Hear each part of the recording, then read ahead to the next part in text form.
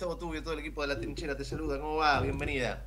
¿Qué tal? ¿Cómo estás? Gracias por llamar. gracias. Pues que ahí lo estábamos escuchando a Dorni y obviamente el piso de ganancias, ¿no? Sigue siendo eh, un, tema primordial para todos, ¿no? Porque mm, lo sabes mejor que nadie, Graciela. los sueldos cada vez se achican, la inflación cada vez se agranda y eh, por supuesto la estamos pasando muy duro en estos meses en la Argentina. Sí, sobre Seguramente todo porque los que están pagando lamentablemente el ajuste es la clase media, los, las personas que tienen salarios fijos, como por ejemplo también los jubilados. ¿no? Sí, lo de los jubilados es terrible. Eh, a ver, no es nuevo, Graciela. Vos venís trabajando hace muchísimo tiempo y, tratando de ayudarlos de, la manera en que, en que podés hacerlo, pero evidentemente este momento es, es muy duro para, para, el jubilado donde están ganando 200 mil pesos, Graciela, evidentemente. La, la, canasta básica de un jubilado está por arriba de, de los 600, casi 700, la básica, sin gastar demasiado. Evidentemente es casi, te diría, no sé si, si la palabra es eh, sobredimensionada, pero casi es inhumano lo que está pasando con los jubilados.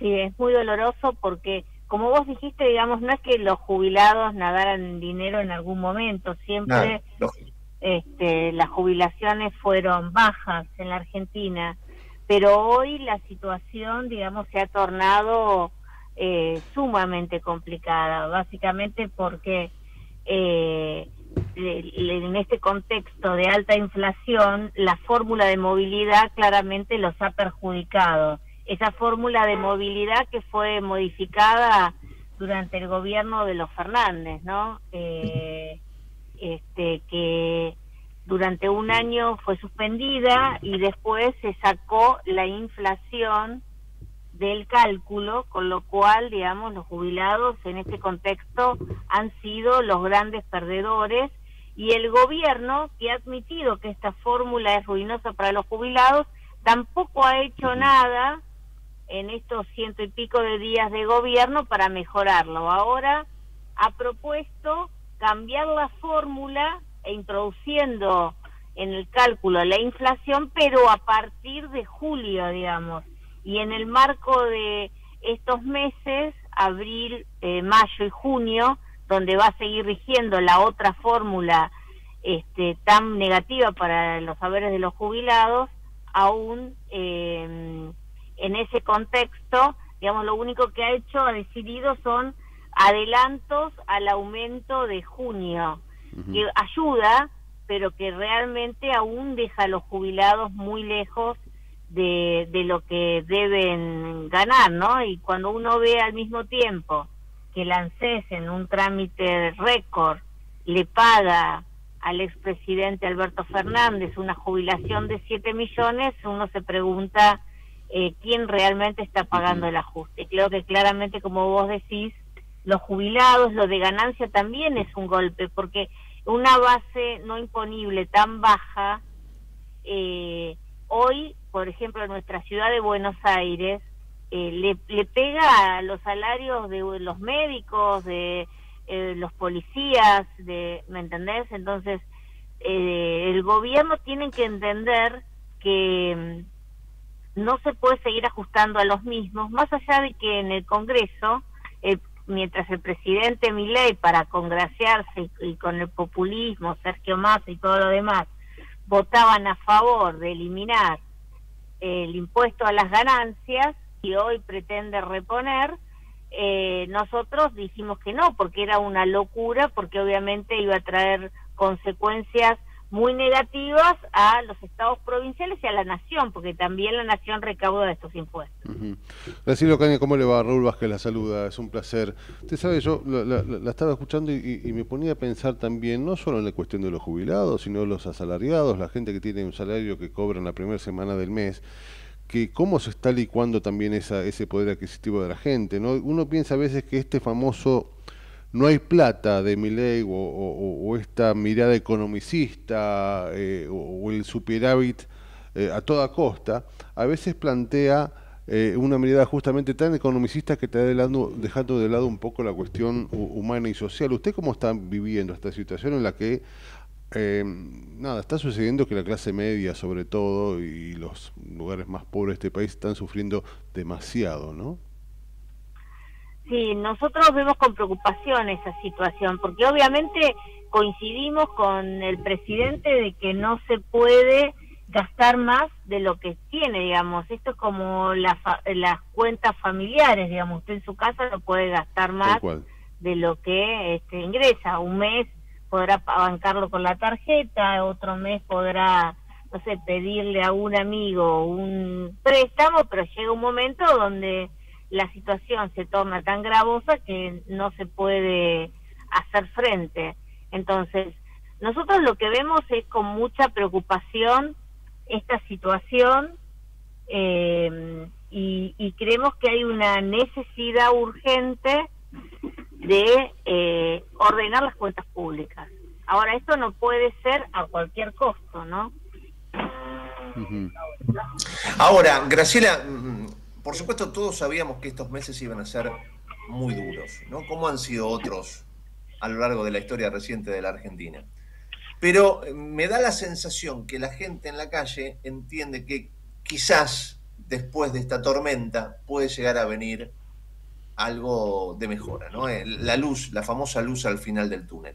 ¿Vos la ves esa luz al final del túnel o no la ves? Es lo que, la verdad es que todos queremos que eso se produzca, pero hasta ahora, digamos, las medidas que se ha tomado son de ajuste pleno. Eh, y yo te lo comparaba con una casa o con la vida personal De, cualquiera de nosotros. Entonces, uno para ajustar puede decidir, bueno, bajar un montón de, gastos, eh, puede decidir, eh, tenemos que hacer un, un esfuerzo, pero llegado un punto, digamos, vos no podés decidir dejar de comer porque obviamente vas a morir, por ahí equilibras las cuentas, pero no va a tener sentido. Entonces, yo creo que el gobierno debería poner un poco de esfuerzo también en medidas no de tanta recesión como las que ha dictado y trabajar en algunas medidas que sean de apoyo, ¿no? Porque están llegando las facturas de los servicios públicos y eso impacta muchísimo eh, a, por ejemplo, los comercios. Muchos comerciantes van a tener dificultades porque van a tener que ajustar los costos, obviamente, pero fundamentalmente van a tener dificultades para seguir manteniendo los precios. ¿Y se puede consensuar políticamente esto? ¿Hay maneras de trabajar en, conjunto? Ahora se habla del Pacto de Mayo. ¿De ahí puede llegar a salir un camino?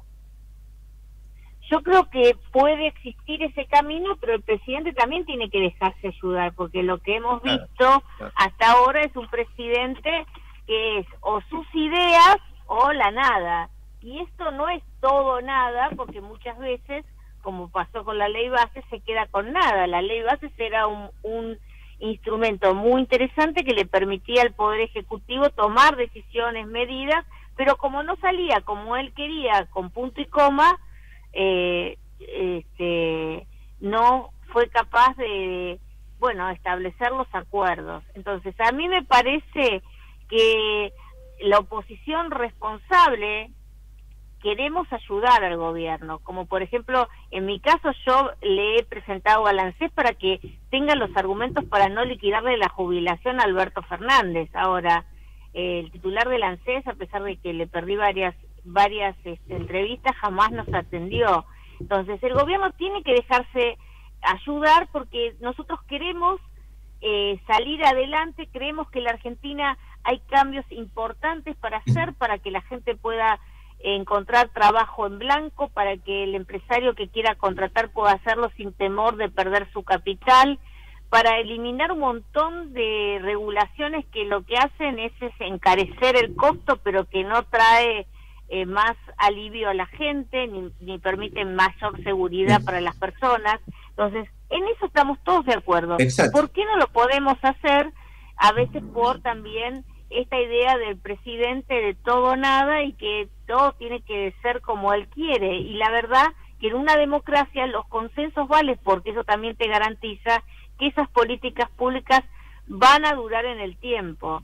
Ahora, te vuelvo a decir, él puede tener equilibrio fiscal, puede tener superávit fiscal, pero si lo consigue como lo puedes conseguir en tu casa, eh, no comprando alimentos, no le va a servir porque la recesión que se va a desatar en la Argentina, ya lo estamos viendo con la caída de los impuestos, le va a traer consecuencias, que no va a poder sostener ese equilibrio. Entonces, a mí me parece que es importante que ese equilibrio se sostenga en el mediano y en el largo plazo eh, y llegar a los consensos eh, que la Argentina está dispuesta a tomar, la gente está dispuesta a tomar, porque lo hablas con la gente en la calle y dice, bueno, pero tengamos esperanza, la gente quiere creer que es un camino de dificultad para salir adelante, pero podemos equivocarnos y volver a caer otra vez en las mismas crisis, ¿no? Yo quiero volver con, con esto que, decías de, la jubilación de privilegio del expresidente, ¿no? Estás trabajando mucho en, ese sentido. Perdón por la palabra, pero realmente ante estas situaciones, no sé, no se me ocurre, te tiro lo que primero que me pasa por la cabeza. Para mí es pornográfico que, que Fernández cobre 7 millones de pesos por mes y vos estás trabajando y vos crees que no se avanza en eh, cerrar este capítulo por una cuestión de, no sé, pacto de fondo, inoperancia. ¿Por qué? ¿Por qué eh, se avanza en este punto que realmente es vergonzoso, Graciela? Bueno, porque por un lado se habla mucho de la casta, pero por el otro, mm. cuando le tenés que tocar los bolsillos a la casta, no se lo hace.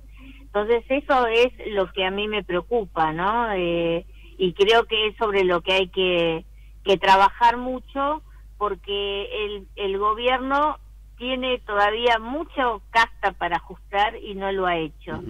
Y también me preocupa que, digamos, un pacto de fondo que pueda implicar gobernabilidad a cambio de impunidad, ¿no? Y creo que eso también sería muy negativo para el país y para, para el propio gobierno, ¿no? Graciela, usted recién deslizaba algo que me parece interesante tratar de, de, discernir o de pensar juntos, esta cuestión de la oposición responsable, ¿no? O el dejarse ayudar del gobierno, cuando en definitiva aquellos que deberían ayudarlo con, buscando consensos y demás, eh, justamente en el Congreso de la Nación, fueron llamados... Eh, ratas y fueron, este, al principio mi ley habló de espalda justamente a aquellos que deberían darnos el consenso. Eh, y ahí aparece esta oposición que, coincido, es responsable, pero también pareciera hoy eh, un tanto débil. Eh, usted ya no está más en el Congreso, está en la legislatura, pero digo, en algún punto me parece interesante su respuesta respecto de cómo ve la posibilidad de que mi ley de alguna manera plantee definitivamente ese dejarse ayudar en la búsqueda de consensos. A mí me parece que el presidente Milei apuesta todo al 2025 en una sociedad que no sé cómo va a llegar el 2000 a las elecciones del 2025. Mm. Yo creo que los cambios que Argentina necesita no pueden esperar al 2025, sino que hay que hacerlos ahora, porque ahora eh, podemos lograr los consensos. Quizás el presidente tenga que escuchar cosas que a veces parece que tiene dificultades o que lo frustra mucho cuando no consigue el 100% de los objetivos que se propone. Pero bueno, uno tiene que tener la resiliencia suficiente cuando es dirigente, básicamente, cuando lidera un proceso para entender y para poder dialogar. Pero bien que parece que... la, la clave del Congreso, la clave de la política. Pero veo que parece que nos volviéramos a quejar de aquello que nos quejábamos en el 2008, lamentablemente, ¿no? Eh, algunos ya plantean de alguna forma que estamos a las puertas de un populismo de derecha con los vicios que tenía aquello contra lo que supuestamente se vino a luchar, ¿no? Bueno, eh, yo veo muy muchas cosas parecidas o intentos de, mm. de de, este, de los 90, ¿no? Mm. Es un avance porque pasamos de la discusión con el kirchnerismo de los 70 y todo eso sí, por lo menos nos a los 90. Un poco, sí. El mundo va por el 2000, está pensando el 2040, eso es lo trágico para la mm. Argentina.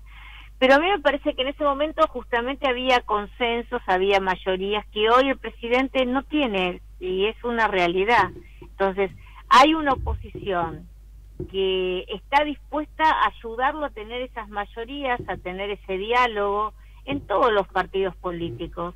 Y el presidente es el que tiene que tomar la decisión en el pacto de mayo eh, de llevar adelante esas modificaciones. Hay que hablar de la educación en la Argentina, porque mm, no se puede, eh, por un lado, eh, quitar el financiamiento del, del FONIN, que es este fondo que se que es algo histórico, digamos, que todos los gobiernos de distintos partidos lo mantuvieron y que tuvo que ver con la lucha de la Carpa Blanca, los que somos más grandes lo recordamos en los 90, eh, y que básicamente busca igualar los ingresos de los docentes. Eh, no se puede atentar contra el ingreso de las universidades públicas que mantienen hospitales, digamos, que atienden la salud pública de los argentinos, de todo el país, como por ejemplo en el caso de la UBA, el Hospital de Clínicas, pero si usted va, tiene el Corrientes, también está el Hospital Escuela, en, en cada provincia argentina. Eh, este, entonces, yo creo que el presidente tiene que entender que no es... Eh, que, creo que está en un camino equivocado. La educación es algo básico, eh, profundo, que se tiene que trabajar. Entonces, a mí me parece que todos esos aspectos también deben ser discutidos, por ejemplo, en el pacto, llamado Pacto de Mayo, básicamente, ¿no? No solamente cuestiones económicas, eh, sino profundamente cuestiones que hacen a cómo eh, llevamos adelante esas políticas de fondo para que la Argentina salga de este look del pasado para construir y discutir el futuro, ¿no? Sin duda, Graciela, como siempre, un gusto muy grande escucharte y pensar un poco la Argentina que estamos atravesando de difícil tránsito, sin lugar a dudas. Graciela, abrazo grande. Un abrazo grande, muchas gracias. Graciela Ocaña, legisladora de la Ciudad de Buenos Aires.